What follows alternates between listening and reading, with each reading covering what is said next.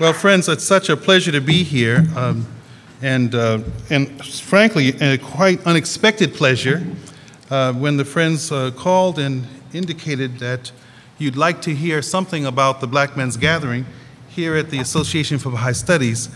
It caused me to uh, pause, and uh, I was thrilled to uh, be able to do that. And, and at the gathering this year, I um, uh, told the brothers gathered there that we would be meeting this weekend, and you can see a number of them are here with us today.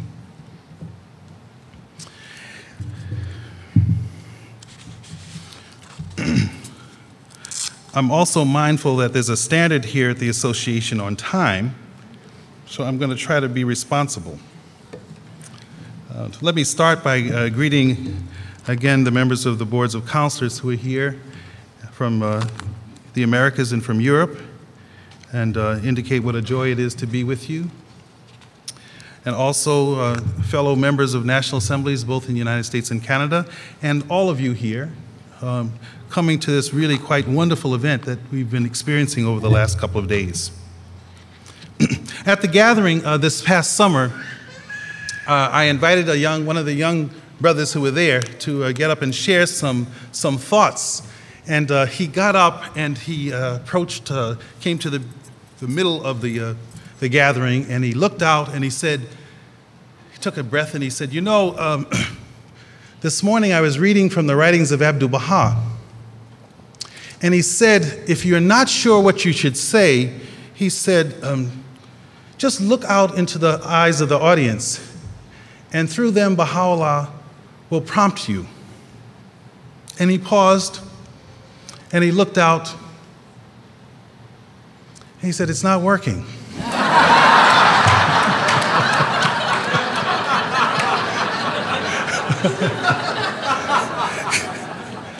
so, so I thought, uh, rather than try that and run the risk of that, you know, I would uh, prepare some a few remarks for you. And uh, I'd like to start with uh, a statement from the writings of Abdu'l Baha. And you can find this in selections of Abdu'l Baha, uh, where he says, In every dispensation, there hath been the commandment of fellowship and love. But it was a commandment that limited to the community of those in mutual agreement, not for the dissident foe. In this wondrous age, however, praise be God, the commandments of God are not delimited, nor not restricted to any one group of people. Rather, have all the friends been commanded to show forth fellowship and love, consideration and generosity, and loving kindness to every community on earth. Now must the lovers of God arise to carry out these instructions of His. Let them be kindly fathers to the children of the human race, and compassionate brothers to the youth, and self denying offspring to those bent with years. The meaning of this is that ye must show forth tenderness and love to every human being even to your enemies, and welcome them all with unalloyed friendship, good cheer, and loving kindness. When ye meet with cruelty and persecution at another's hands, keep faith with them. When malevolence is directed your way, respond with a friendly heart. To the spears and arrows rained upon you, expose your breasts for a target mirror bright, and in return for curses, taunts, and wounding words, show forth abounding love. Thus will all the peoples witness the power of the most great name, and every nation acknowledge the might of the ancient beauty. And see how he hath toppled down the walls of discord and how surely he hath guided all the peoples of the earth to oneness. How he hath lit man's world and made this earth of dust to send forth streams of light. Well, friends, I wanted to begin with that passage from the writings of Abdu'l Baha because it seems to me that that is really what the Black Men's Gathering has been all about. It's about the sense of love and devotion and commitment to the faith and the yearning to be able to really be the best Baha'is that we could. So let me try to, to trace for you a little picture in brief terms about the beginnings of the gathering, and uh, which began in October of 1988. You should know that during that time, 1987, excuse me, and during that time, in all the news media, there were uh, featured headlines talking about black men and endangered species. In all the magazines and newspapers on television, there were tremendous, um, there was a tremendous um, conversation, if you will, discourse in the world, uh, in the United States and all over the world about the, the challenge of being black and male in the United States. In fact, in one uh, place, you know, black men in Harlem um, were said to be more likely to die before the age of maturity, 15, than men in Bangladesh. So, black men in the United States living in New York City and Harlem were more likely to die before the age of maturity than men in Bangladesh. or in the United States, if you were black and if you were black and male, the likelihood of homicide against you was 83% before the age of 35 so that any black man, man in the United States faced the probability and the possibility that he would be killed before the age of 35 at the rate of 83%. And if you did fall victim, it largely would be a crime perpetrated, perpetrated in 70% of the cases by another black man. Very interesting. There were more black men incarcerated in the United States during that time than there were black men in college. In the Baha'i community, thousands of people of African descent, men and women, had entered the cause in the 60s and 70s. But by the mid 80s, most couldn't be found as active participants in Baha'i community life. Attendance at national Baha'i events including conferences, conventions, etc., included fewer and fewer men of African descent. And interestingly, those of us who did attend gave only passing acknowledgement to each other, as if it were taboo for us to be seen with one another for too long. After all, we had accepted Baha'u'llah, and this meant that we believed in the oneness of mankind, which was uh, interpreted as um,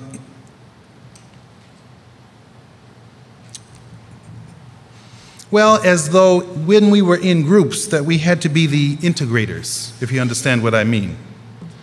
That, you know, we couldn't be seen together because that somehow that, that would indicate that we weren't truly believers there always had to be one of each, and there were so few of us, we had to spread ourselves around. Myths about black men abound in the society, you know that, they, then, then and now. And uh, that the Baha'i community is no different. And regardless of who you are individually, no matter your personal or professional achievements, no matter the promptings of your heart. The image one must contend with is one that the media and historically and historically racist society imposes, and that is that black men are to be feared, that uh, black men are lawless, black men are unpredictable in their behavior, and uh, most likely to be criminals of some sort, some brand or sort. In other words, always suspect in a dehumanizing way. And we see even today examples in racial profiling. Or if you're black and male and you go into certain stores, people follow you just because you're black and male. Or if you drive a nice car, you can't be yours, so you get stopped. or other such things. You know, um, old ladies, particularly old white women, walking down the street with their bags. If a black man's coming, they cross the street and go to the other side, just in case. You know, this is just an endemic part of the society that we live in. Groups of black people together set off some kind of worry that something strange is going on. What are they doing together? You know, what's that all about? Now, people don't question that when groups of whites are together or people of other backgrounds are together. But when black men, particularly, are together, it must mean trouble. Then and still today. Also, in the Baha'i community, we experienced at that time that there was a worry that when groups of black men, particularly at large events like a national convention, that maybe they were doing some kind of caucusing. And of course, that was not Baha'i. Something must be at play that indicated that these individuals, because they were together, were not mature believers. Because after all, we believe in the oneness of mankind. And if you believe in the oneness of mankind, why would you want to be together?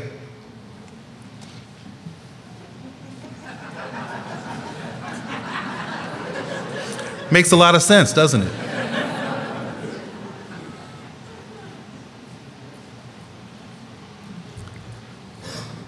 Clearly, something was wrong with the picture. Add to this that when we looked around during that time, there were very few old black men who were visibly uh, serving in the Baha'i community, regionally and nationally, and frankly, even internationally. Although we did have a number of women of African descent as models, but there were very few old black men. And so I asked myself, and um, uh, Michael, I was serving as an auxiliary board member then. I asked myself, well, what can I do about this? And as a board member, I thought, well, perhaps I have some sort of regional recognition responsibility. And it occurred to me that perhaps because of this service, I might be able to assist this particular population in the Baha'i community to discover what Baha'u'llah had in mind for them. What does Baha'u'llah want from us? It surely couldn't be to continue in the same vein and the challenges. And we were seeing a number of men just continually just leaving the faith, distancing themselves from the Baha'i community for various and sundry reasons. So I invited a number of men, completely independently, just decided to do it. How, what, what nerve I had, you know, what audacity to actually go out and invite a number of men of African descent to spend a weekend together to discuss these themes. And of the people that were invited, there were a number who invited 12 um, courageous souls actually decided with trepidation to attend. Um, uh, John Mangum, Bojack, who was here singing the, during our prayers, was one of those 12. Now, let me talk to you about the purpose or intent as I said to you, I asked myself, what can I do about this situation? And uh, really, what could assist in changing this sort of uh, process that was occurring in the Baha'i community in a useful way? Uh, the questions I sort of raised were what does Baha'u'llah have in mind for us? What does he expect for us from us in this community? Who are we in the eye of God? And what part are we to play in the development of a new world civilization? The 12 of us who decided to attend and we met in Greensboro, North Carolina, someone once asked me, Well, did you choose Greensboro because of its uh, historical connection with the uh, uh, civil rights movement. I said, no. Greensboro had just opened a new airport and they had some very inexpensive tickets there. very practical reason. And we met in a little uh, hotel called the Residence Inn. Why? Because they were also inexpensive and they had a little meeting area. But we spent those two days together in prayer and in consultation, struggling with these questions and these concerns, and trying to learn about one another and about the and sharing some of the difficulties we'd experienced. what happened was something really quite magical.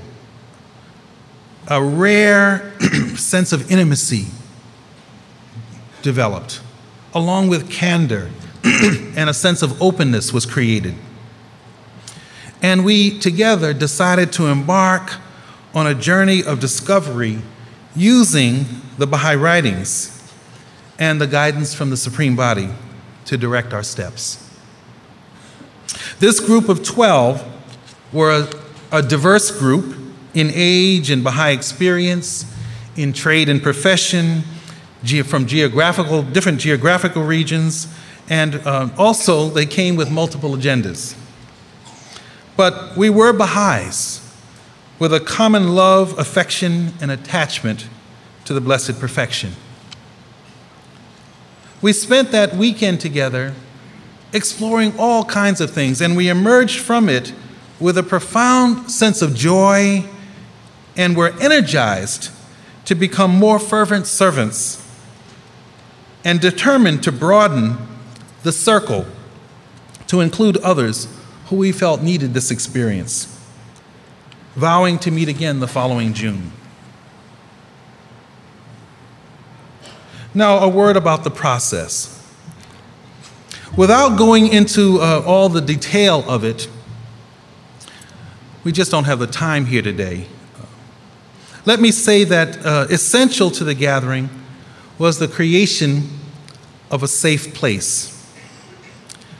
In inviting participants to participate, um, I always remind them that, in my view, there is no place in North America that is completely safe for a man of African descent.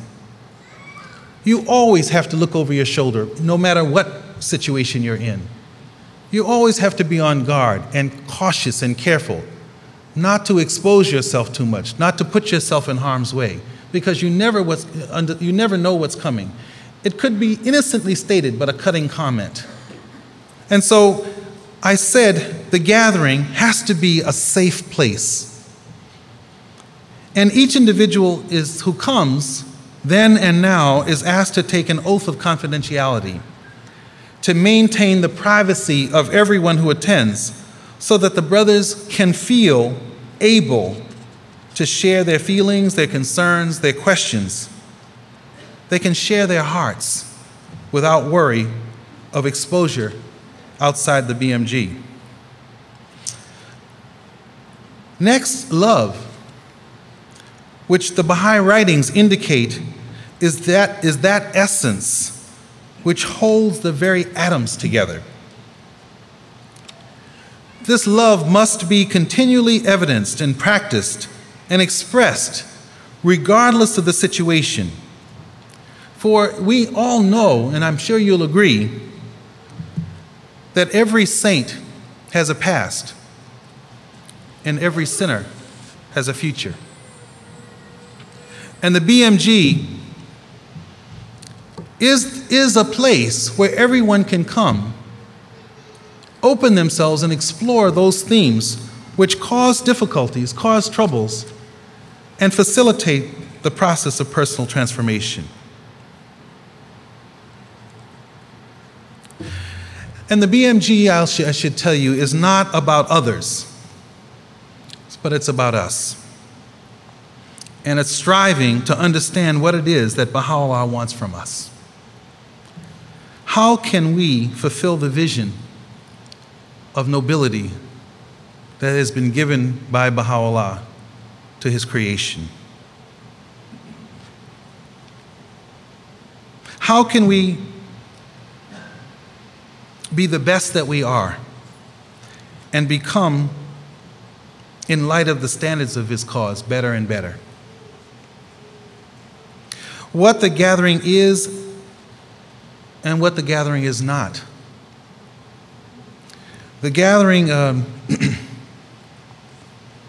has been uh, labeled in lots of different ways. And so I thought I would share for you from a letter of the House of Justice what the gathering is and is not. You know, the House of Justice, that source of all good, freed from all error.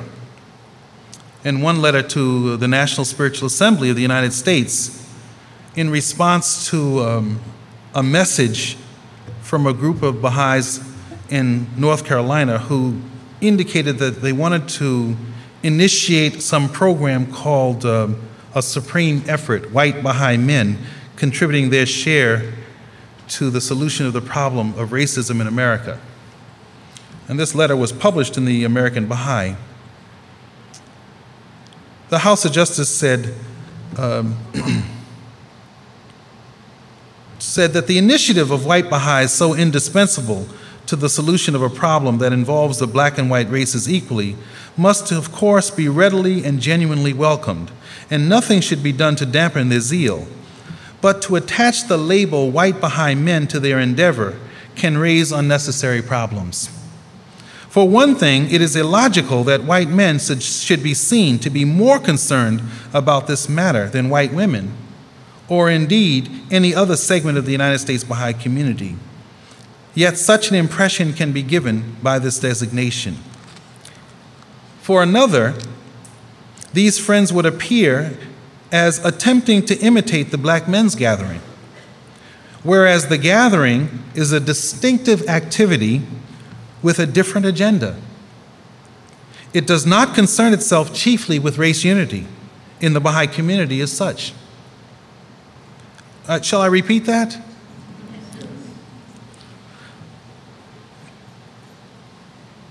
The gathering is a distinctive activity with a different agenda. It does not concern itself chiefly with race unity in the Baha'i community as such. It addresses itself to a special situation faced by a minority that has suffered severe social and spiritual afflictions imposed upon it by the majority. The program of the Black Men's Gathering is unique and exemplary as an avenue for transcending the legacy of anguish, frustration, and social pathology that is peculiar to black men in the United States. It urges them toward a fullness of life within the spirit and principles of the Baha'i revelation. So the gathering is an opportunity to focus on the, the personal and spiritual and social development of men of African descent and has nothing to do with others. It is not about race unity. And the most important part of the black men's gathering is prayer. Abdu'l Baha defined prayer for us as conversation with God. And together at the gathering, we learn how to pray and we do it for hours. It's interesting because we uh, asked the uh, committee if we could share the um, devotions this morning, and um, and they consented and said yes. And then I said, well, when do they start? They said nine o'clock, and I said, but that's only what 10, 15 minutes.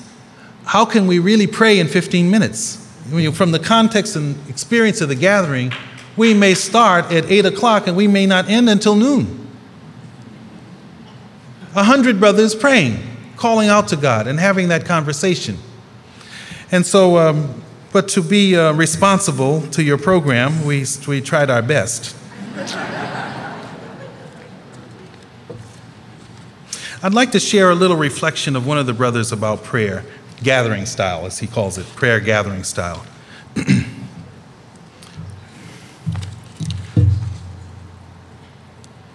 He writes The BMG is many things. I'm sure each man has his own take or spin of the gathering.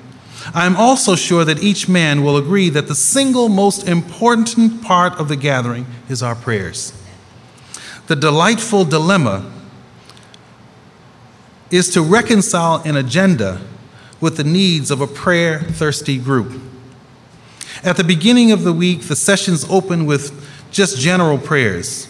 Someone would start a song, prayers and songs would follow, or someone would say a prayer, and then, then it would be on.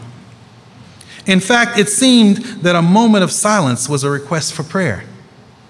What the brothers at the gathering have learned is that when they continuously pray, sing, and chant with love and affection to the blessed beauty, the Ancient of Days, the glory of God, to Baha'u'llah, with absolute sincerity, then the concourse on high will join us in our prayers, and the heralded angels will sing.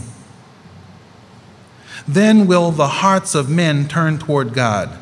Then will we become one soul in many bodies. Then will we look at our brothers and find the love we need. Then will the tears flow and the hearts open until we see nothing but God and throw our arms around each other and say, I love you, brother. I love you. That is the healing power of prayer. That is the pre- prescription for wellness that the brothers at the gathering have discovered. I wish I had time to go on reading more of this, but I see the time is flying, and there are other things that I wanted to share, including, and so I'll go on and just talk a little about the tests of service. But please keep in mind this idea of prayer and the intensity of prayer is so critical to our process. Now, in the development of the gathering over the years, countless challenges and frankly unkind accusations have been made over these years.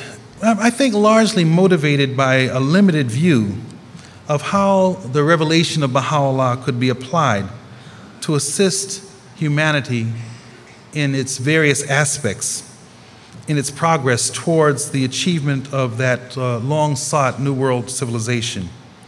Uh, uh, sometimes difficult um, and uh, painful things, comments, and actions were occurred, uh, sometimes from uh, quite well known believers in the faith as well as people in the rank and file. For example, one believer from Florida, a mature white Baha'i, called one day under the direction of his local assembly and, uh, and asked for information about the Black Men's Gathering because his assembly decided that um, one of their, as he stated, colored Baha'is needed to come. And, um, and, uh, and I said, Oh, colored, okay. Um, uh, and when, he, when I said, Well, uh, who is the gentleman? And maybe he should call himself because uh, I'd like to, if people want to come, they're welcome, but they need to call themselves. Um, uh, he said that um, I gave him the number and asked him to call, have the gentleman called. Um, um the gentleman took the moment to, um, to just share independently his own opinion. And he said, um, Well, I don't really think, I don't know about this black men's gathering, and, but I don't really think it, I really personally don't think that you all should be spending so much time together talking about us. It doesn't sound very Baha'i to me. And I sort of uh, took a breath and uh, paused and I said, Well, gee, what makes you think that you're so important that we would want to spend a week talking about you?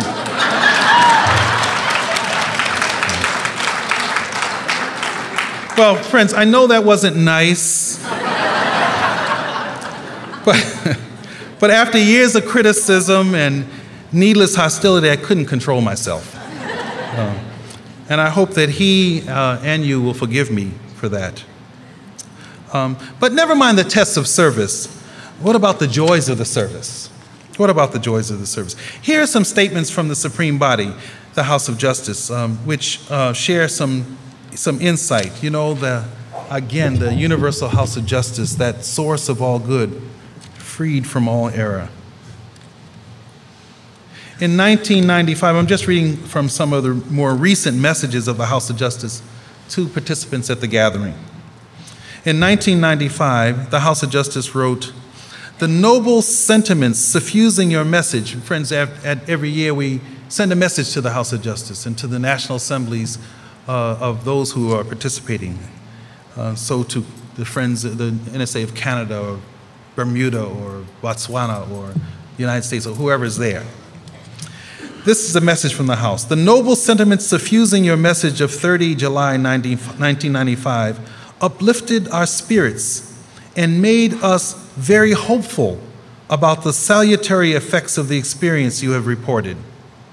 The motive and methods you have employed in the Black Men's Gathering are admirable and worthy of emulation by others who aspire to serve the cause of God and thus rise above the afflictions of this earthly life. In 96, I'm moving quickly, in 96, the House of Justice wrote, We, and they wrote this to, uh, to this person individually, we are to express to you its uh, remembrance of your initiation of this special event and its gratitude for the unique spirit your efforts have inspired in a succession of gatherings, which focused on a particular group to address their distinctive needs, but which also upheld the world embracing vision of the cause of Baha'u'llah.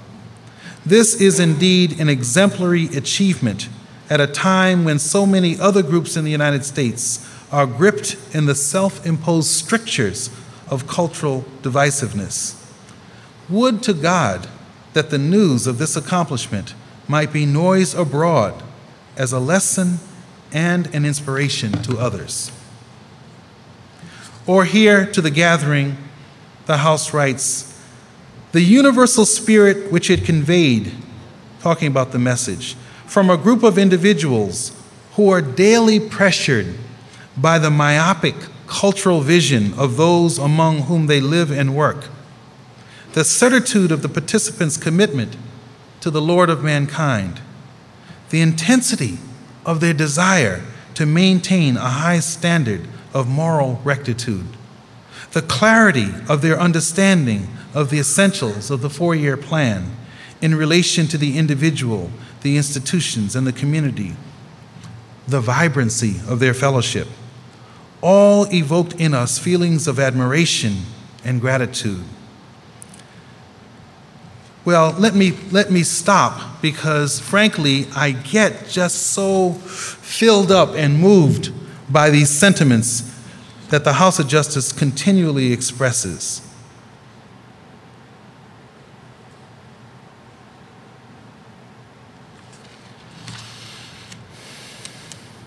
I don't, I, I I, it fills me with a sense of gratitude that, in spite of the difficulties and the challenges over these many years, the Universal House of Justice calls this initiative exemplary and offers it as a model to others in the world. we now have gatherings in, um, in Brazil, uh, one was uh, started in Botswana.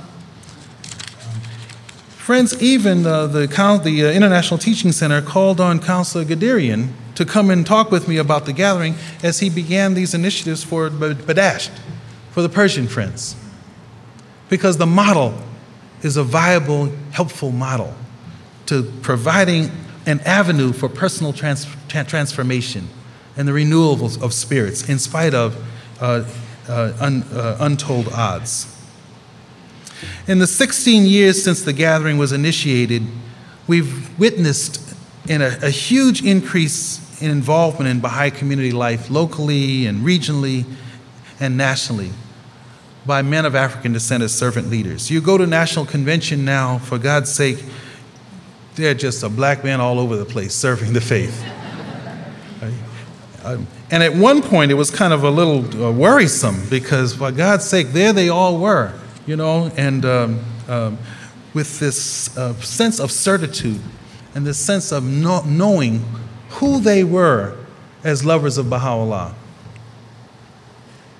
Broader involvement in the teaching and con- consolidation work on every level, on the home front and internationally.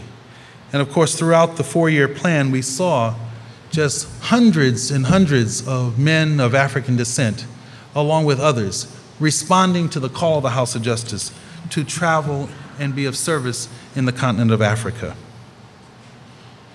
You find among these men a strengthened and enhanced identity, self and text defined as Baha'is or as followers of Baha'u'llah, not defined by others. a greater depth of understanding of the messages and the direction given by the House of Justice and by the National Spiritual Assemblies, and a heightened response to the calls of these great institutions. And the response during these plans has been nothing short of extraordinary. Well, I'm going to stop now and invite some of uh, the brothers from the gathering to come up and just share with you their own sense. Uh, and let me call these four brothers we've asked to come and just, this is not rehearsed, it's just this spontaneous. Please come um, and, and share your, your experience.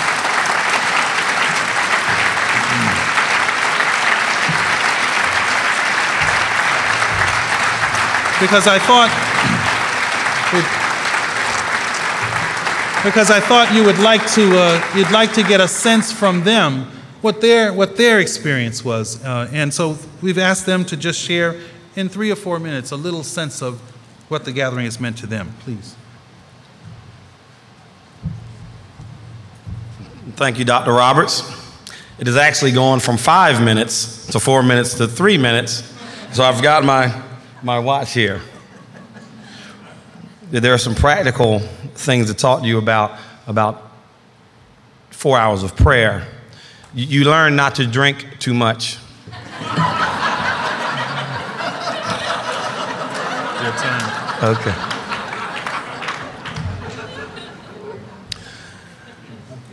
Uh, friends, I became a Baha'i in, in 1975. And by 1982, um, my love for Baha'u'llah had not changed, but my participation in the community had dwindled to nothing. I was not the person you could reach by phone. Um, and I was, in a sense, dead to the community. And this went on for quite some time. And, and as I reflect on it, a great part of that was because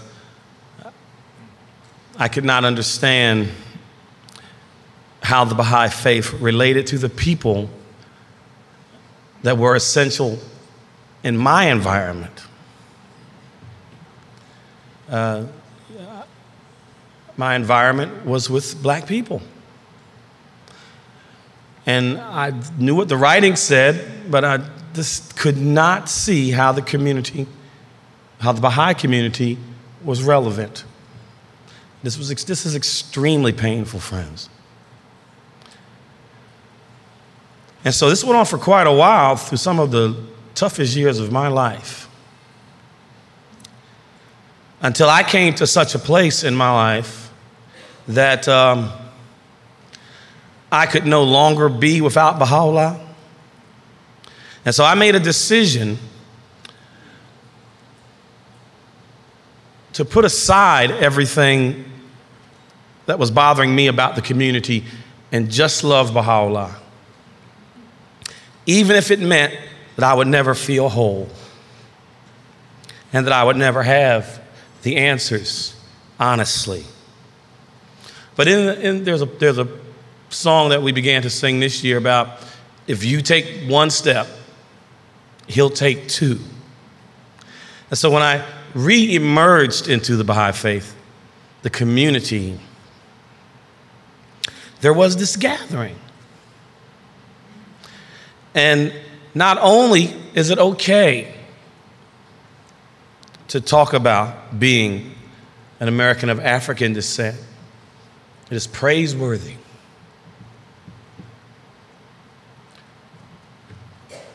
As a result of the gathering, I will honestly say that my family has been transformed. My sons are Baha'is. My brothers are Baha'is. And I have to say that it's it's owed to the black man's gathering. And this person who didn't answer the phone a few years ago, who may have had this excuse or the other, has served, had the bounty of serving on as national delegate six, seven times, and this year was asked to serve as auxiliary board member for the state of Georgia.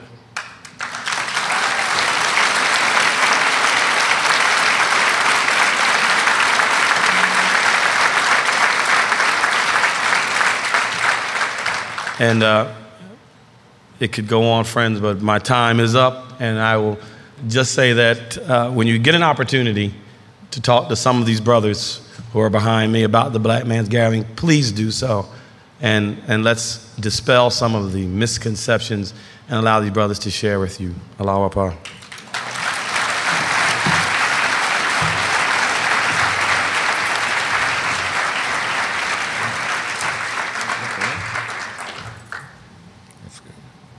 Good morning. My name is George Bailey. I'm from South Orange, New Jersey, USA.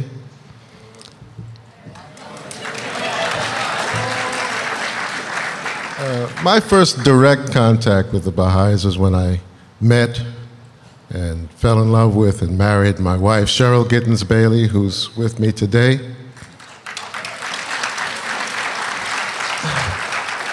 Actually, I should say that I'm with her today, but that's another story. Uh, after we married, uh, I found myself in a whirlwind of Baha'i activities uh, that I did, didn't know anything about. We held firesides, we had activities at our house gatherings, and uh, when they had the World Congress in New York, uh, we hosted families from uh, three continents at our home and, uh, you know, I considered myself a friend of the Baha'is. I was intrigued by the principles uh, I had been seeking all of my life. Uh, having been a son of a Seventh day Adventist minister, I had uh, a few ideas that I had to work out. In any case, uh, we moved to South Orange, New Jersey, and I became very friendly with Mike O'Neill's brother, uh, Ormond O'Neill, and we found out that the brothers were going to Africa. And I said, Well, we that's great, Africa, that's wonderful. Uh, and we decided among ourselves to do something for them, and we decided to give them a send off. So we cooked up some food and got some beverages together and went to Kennedy Airport one night. And uh, if you know anything about Kennedy Airport, just finding somebody there is a real challenge. We managed to find them, and we all got together, and they held prayers before they departed, and we fellowshipped. I met Dr. Roberts and uh, uh Oliver and uh, Michael and uh, Patrick and all the brothers who were going to Africa, and uh, hey, it was great. So we sent them off. And so we decided, of course, three weeks later they're coming back. Hey, let's welcome them home. Cooked up some more food, brought some more beverages, met them at Kennedy Airport at some ungodly hour, and uh, we welcomed them home. Uh, I don't know who dropped a dime on me, but uh, whether it was Ormond or my wife. Or, or whether it was just Dr. Roberts being a little perceptive, but he kind of walked up to me and says, uh, I'd like to invite you to the Black Men's Gathering. I said, Well, Dr. Roberts, uh, you know, I'm not a Baha'i. He says, Don't let that stop you.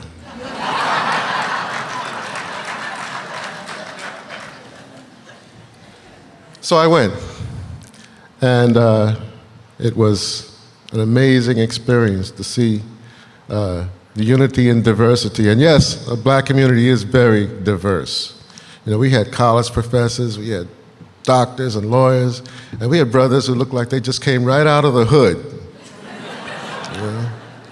But we were all together at one accord, and uh, it was one amazing experience.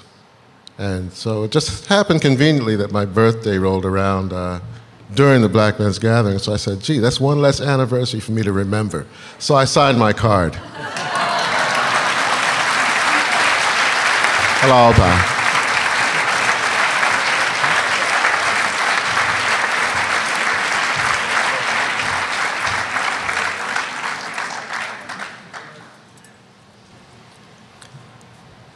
My name's Stan Brown, Alapa.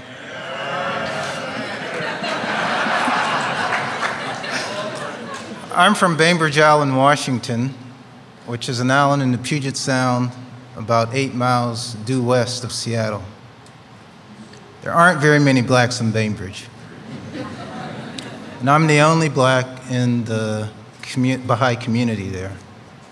The community is so small that we actually have most of our meetings with isolated believers in North Kitsap County. I'm the only black in Baha'i in North Kitsap County as well. The cluster is made up of the entire Kitsap Peninsula, Kitsap County, plus a few areas in the next county over. And in that entire area, there are only three blacks. So I feel very isolated there. And I first came in contact with the gathering in 1999. I didn't know anyone who had ever attended a gathering. I hadn't met Dr. Roberts, hadn't met anyone, but I had heard about it through a friend of a friend who was there on Bainbridge Island. Made some contacts by telephone, eventually got to Dr. Roberts. He invited me. I attended not knowing what to expect, who I was going to meet, or anything. And now I think I can truly say that some of the brothers in this room and that I've met at the gathering are some of my closest friends. The, uh, the gathering itself has had a tremendous impact on me.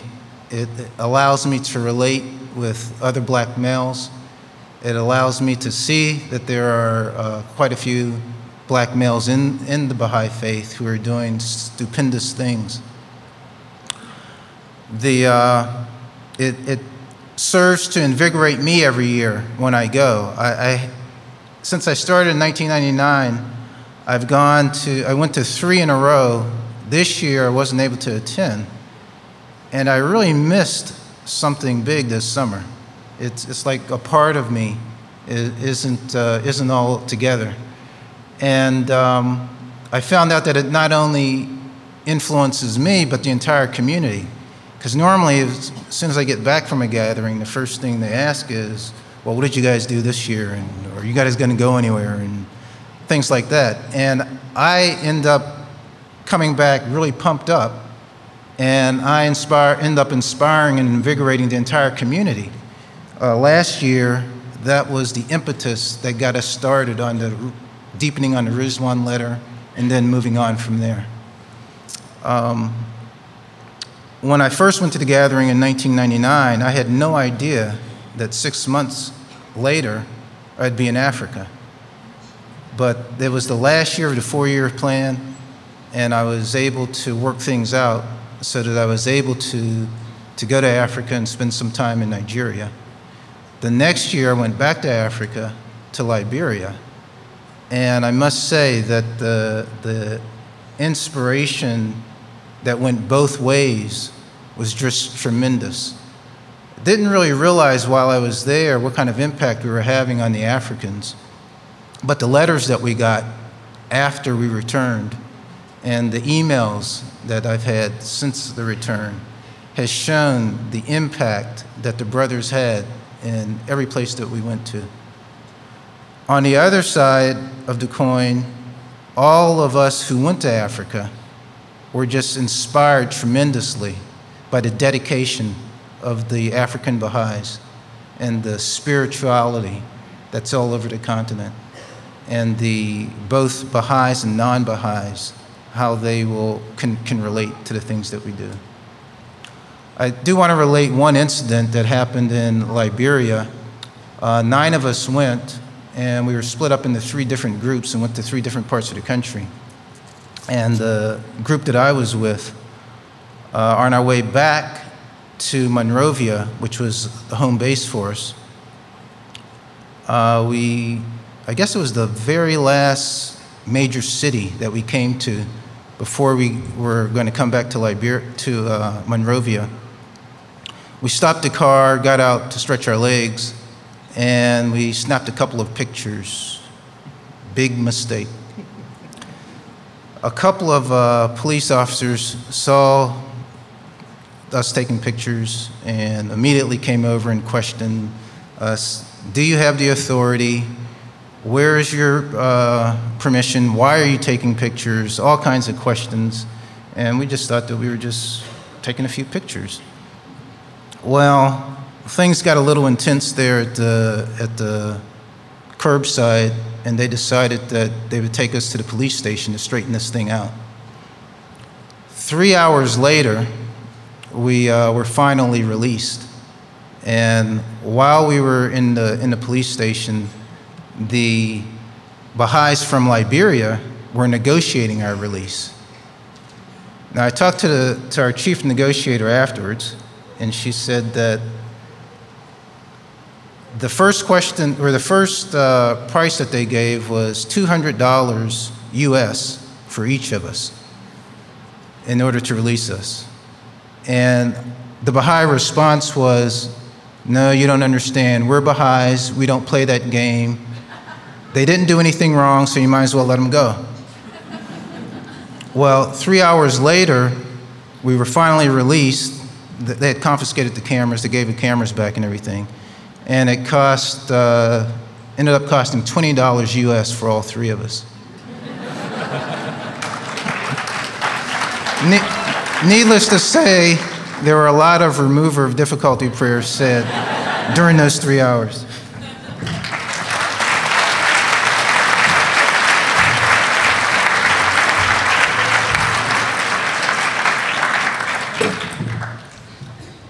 Allah-u-Abha, friends.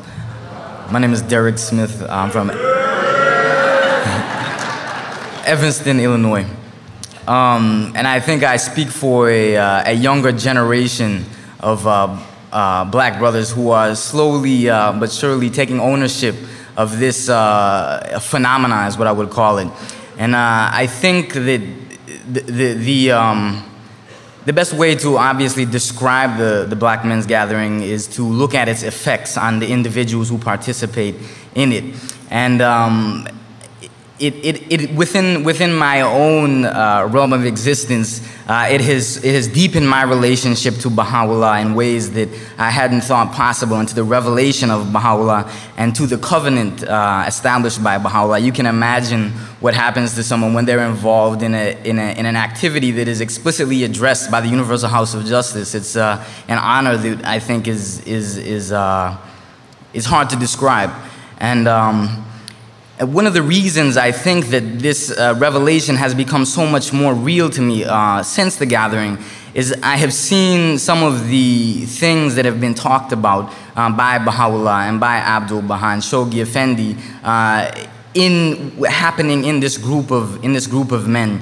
When Abdul, when Abdul Baha talks about the serried lines that will carry forth an ever advancing civilization, I look at my brothers and I see these serried lines.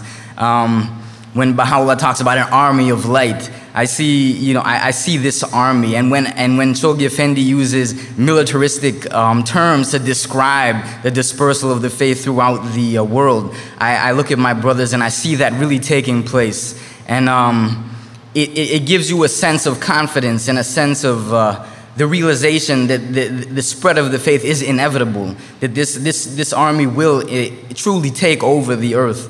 And um, you know, I just, I just ask that you all pray for us and that you imagine what it's like to gather with a hundred other people and pray for the better part of a day, calling on the Spirit of Baha'u'llah to, uh, to, to carry you forth in your effort to spread the light of unity throughout the world and, and, and to remember us and to pray for us. And I, I, am just, I'm honored to be able to uh, share my experience with you and Allah-u-Abha.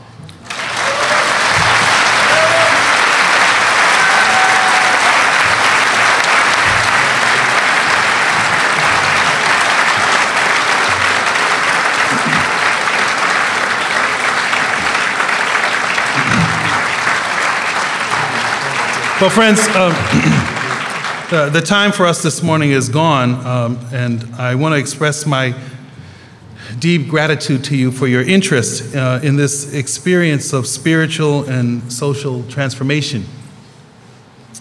Um, I'd like uh, you to join us in closing this session. Uh, first, I'd like to uh, share with you the words of Abdul Baha. And then I'd like you to join us in singing a song as we move to our break um, which will uh, connect us with the spirit of the Black Men's Gathering.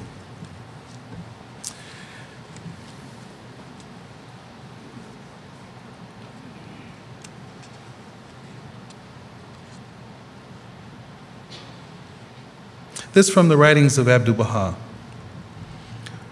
O ye loved ones of the Lord, this is the hour when ye must associate with all the earth's people in extreme kindliness and love, and be to them the signs and tokens of God's great mercy. Ye must become the very soul of the world, the living spirit in the body of the children of men. In this wondrous age, at this time when the ancient beauty, the most great name, bearing unnumbered gifts, hath risen above the horizon of the world, the Word of God hath infused such awesome power into the innermost essence of humankind that he hath stripped men's human qualities of all effect and hath, with his all conquering might, unified the peoples in a vast sea of oneness. Now is the time for the lovers of God to raise high the banners of unity, to intone in the assemblages of the world the verses of friendship and love, and to demonstrate to all that the grace of God is one. Thus will the tabernacles of holiness be upraised on the summits of the earth, gathering all peoples into the protective shadow of the word of oneness. This great bounty will dawn over the world at the time when the lovers of God shall arise to carry out his teachings and to scatter far and wide the fresh, sweet sense of universal love.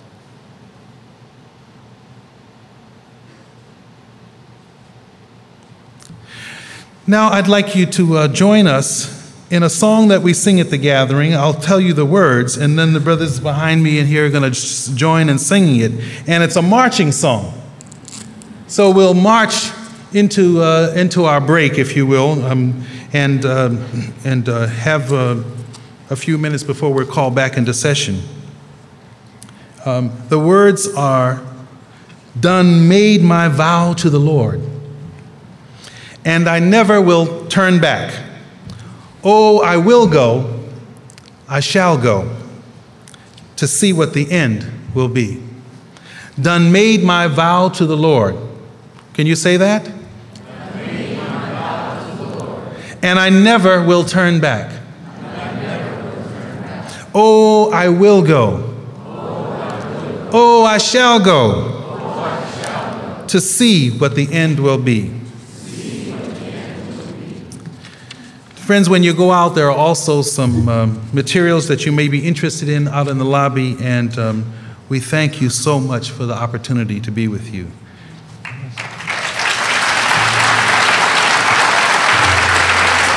So sing with us.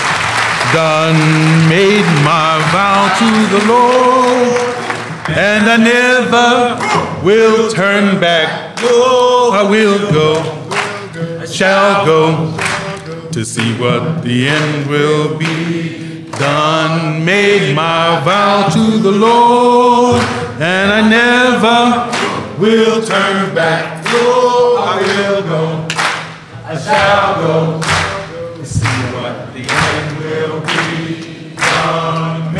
Matado